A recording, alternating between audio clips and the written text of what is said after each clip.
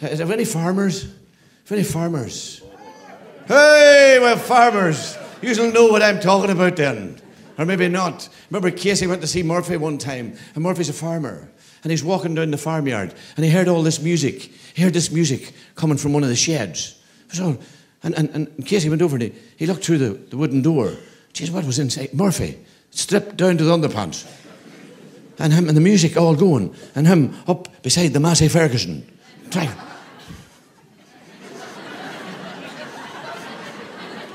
Him giving her a lilty up to the back wheel of the Massey.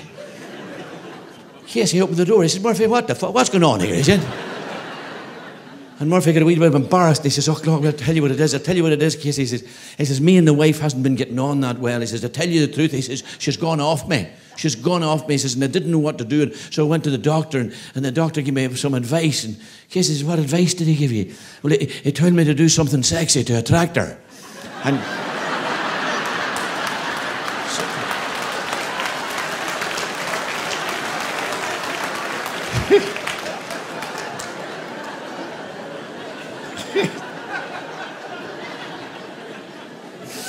The next time you see a tractor going down the road, different, different picture. He was in, he was in the farm one day. Murphy's in the farm one day, and he's, he's, he's in the byre. He's milking the cows. He's milking the cows, and the next thing he heard a car pulling up in the yard, and he looked out the byre door. He said it was a squad car, a Garda car. And he said, there's something wrong. So we went over to the, the squad car, and the guard got out. He didn't recognize him. wasn't wasn't the one of the boys he knew. And he says, "Is everything all right, guard?" Yes.